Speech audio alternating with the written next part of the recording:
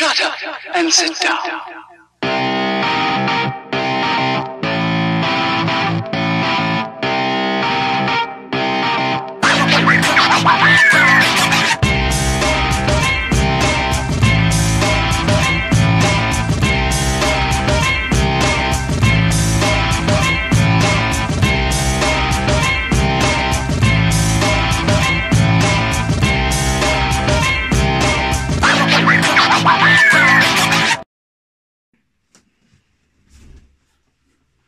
Hi guys, Josh here from Full Sync, and that's my really bad impression of a Bond villain turning around in a chair with a cat on his lap.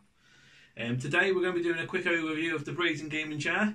Um, obviously, if you want a more detailed version of the review, um, you can click on the link in the description below. And uh, yeah, let's crack on and have a little look at it.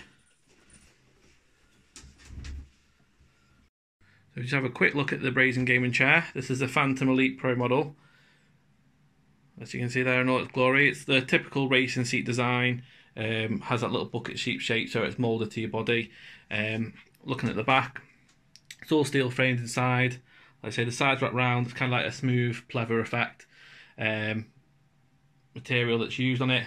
The back has that diamond shape which is stitched in. Um, and obviously it comes with the two cushions as well.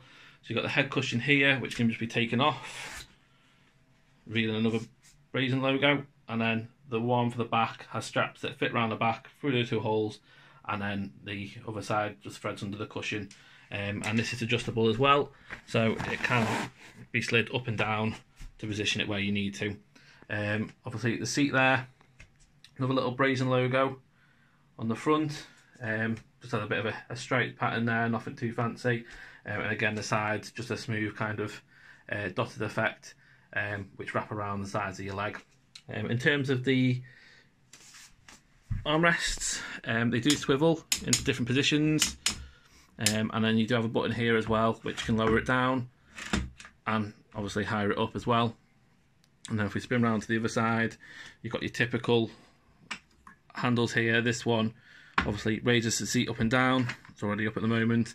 And this one here is used for reclining the seat, which has just brought it forward slightly as you've seen then. Um, but it also reclines back quite far too. So yeah, so that's pretty much everything about the Brazen Gaming Chair. Um, like I say, you can have a bit more of a detailed review um, if you click on the link to our website. He doesn't want to be here anymore, does he?